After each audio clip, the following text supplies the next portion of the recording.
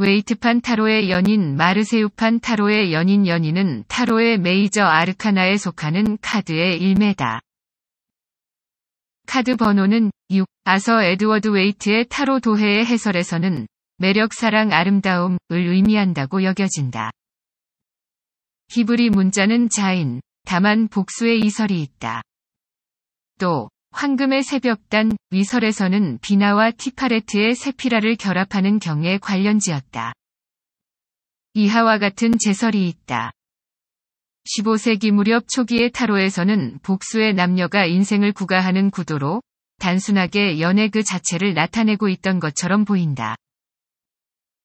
마르세유판 타로에 주목하면 두 명의 여성이 한 명의 남성의 양측에서 그 두상의 천사 같은 한 마리를 확인할 수 있지만 이것은 큐피드이며 비릿한 남녀의 관계를 나타내고 있다고 말할 수 있다.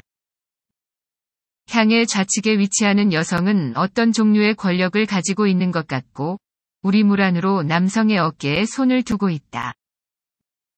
한편 향의 우측의 여성은 나이도 젊고 접근도 정열적일 것이라는 것을 남성의 심장에 가까운 부분에 대어진 손으로부터 엿볼 수 있다. 어딘지 모르게 두상의 천사와 이 여성은 협력 관계에 있는 것처럼 보인다.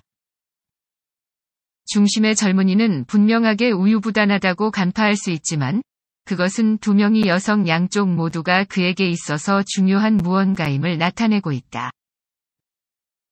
구체적으로는 그의 머리는 우측에 위험 있는 인물로 보내면서 나머지의 신체는 좌측의 금발의 인물에게 보내는 것부터 마치 말력에 끼워졌는지와 같이 동작조차 마음대로 되지 않는 것 같다.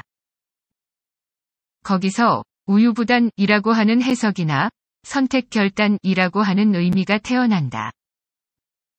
웨이트는 헛됨을 생략하고 균형을 잡힌 일조의 남녀를 써 나타냈다. 웨이트판에 그려져 있는 인물은 구약 성서의 아담과 이브가 모티프로 여겨진다. 큐피드도 천사 라파엘로 변경되어 있다. 시청해주셔서 감사합니다.